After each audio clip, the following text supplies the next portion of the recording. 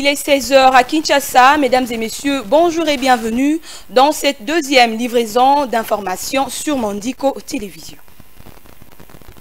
L'Union européenne exhorte explicitement le Rwanda et Paul Kagame à cesser sans tarder leur appui au M23. L'Union européenne insiste à ce que tous les moyens pour faire pression sur le M23 soient utilisés afin qu'il se retire des zones occupées en République démocratique du Congo, comme prévu dans le plan convenu entre les chefs d'état-major de l'EAC le 9 février à Nairobi. Ceci ressort de la dernière déclaration du haut représentant européen Joseph Borrell sur la dégradation de la situation à l'est de la République démocratique du Congo. Suivez les détails.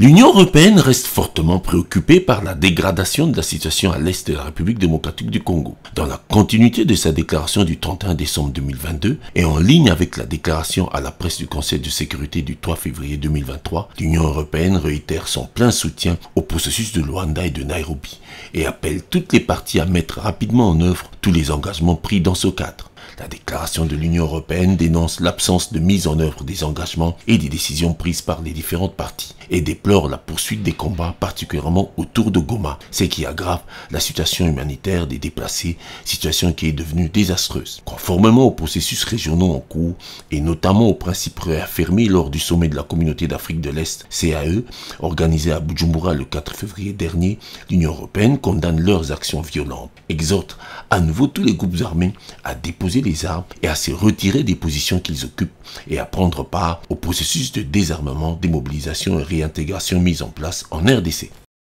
Originaire de la communauté Tutsi congolaise, Alexis Guissaro, actuel ministre des Infrastructures, Travaux publics, a finalement exprimé sa préoccupation face à la présence du Rwanda en soutien au M23 et en rapport avec l'instrumentalisation des communautés. Suivez pour en savoir davantage.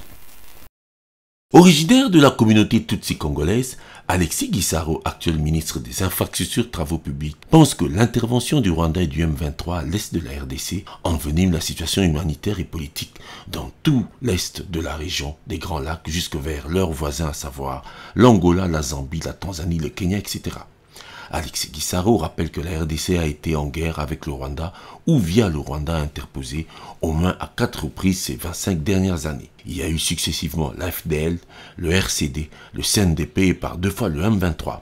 Alors pense-t-il, si l'objectif de la guerre était réellement de régler des problèmes tels que les FDLR, qui est le prétexte utilisé aujourd'hui par le Rwanda, le problème de stigmatisation de certaines communautés, après toutes ces années et toutes ces guerres, aurait trouvé déjà des solutions? De son point de vue, on devrait laisser les Congolais régler leurs problèmes entre eux.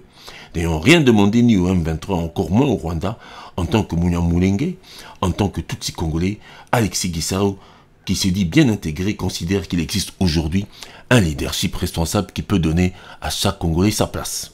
Pour l'histoire, le ministre des Infrastructures, Alexis Guissaro, est le fils d'une figure emblématique dans l'histoire du Sud Kivu, comme fils du député Isaac Guissaro Muhoza, connu parmi les premiers Banyamulenge qui avaient pu émerger en politique, faisant l'unanimité au sein de la communauté Banyamulenge, mais aussi au sein des communautés Bafulero, Bavira et Babembe de la province du Sud Kivu.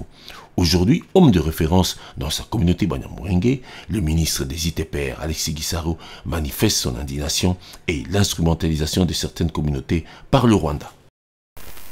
Et pour terminer, le vice-premier ministre, ministre de la fonction publique, Jean-Pierre Liaou, tient à l'exécution de la paye complémentaire des retraités de la première vague et du paiement des indemnités de fin carrière pour ceux de la deuxième vague dès la semaine prochaine. Lors de la réunion du lundi 13 février, le ministre de la fonction publique a donné des instructions fermes pour que le paiement complémentaire des retraités puisse intervenir dans un délai ne dépassant pas une semaine. Viningali Junior nous en dit plus.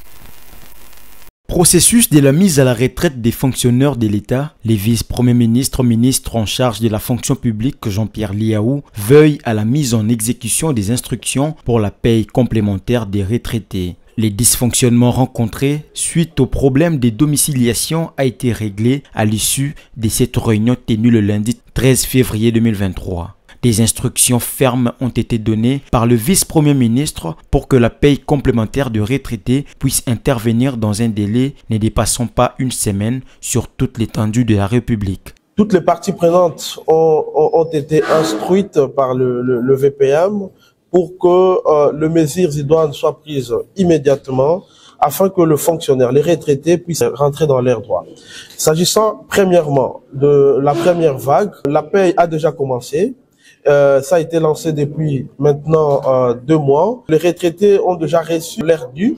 Par contre, pour la paye complémentaire, les fonds qui ont été envoyés auprès des banques ont été retournés suite à de petits soucis de liquidation, de petits soucis de domiciliation.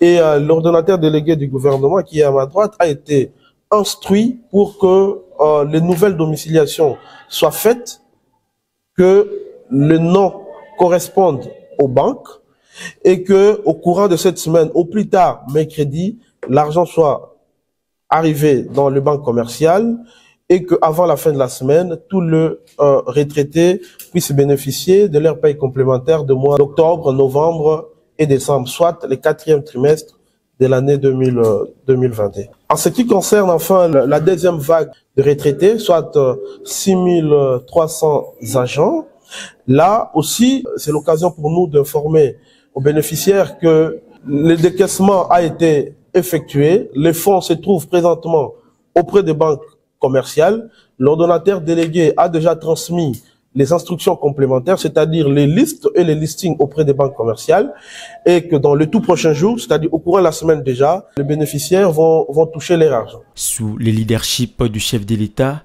le processus de la mise à la retraite digne s'est poursuit normalement après la première et la deuxième vague plus de 10 000 fonctionnaires ont été envoyés à la retraite dignement. À noter que le processus de la troisième vague a été lancé il y a peu par le vice-premier ministre, ministre de la fonction publique, Jean-Pierre Liao.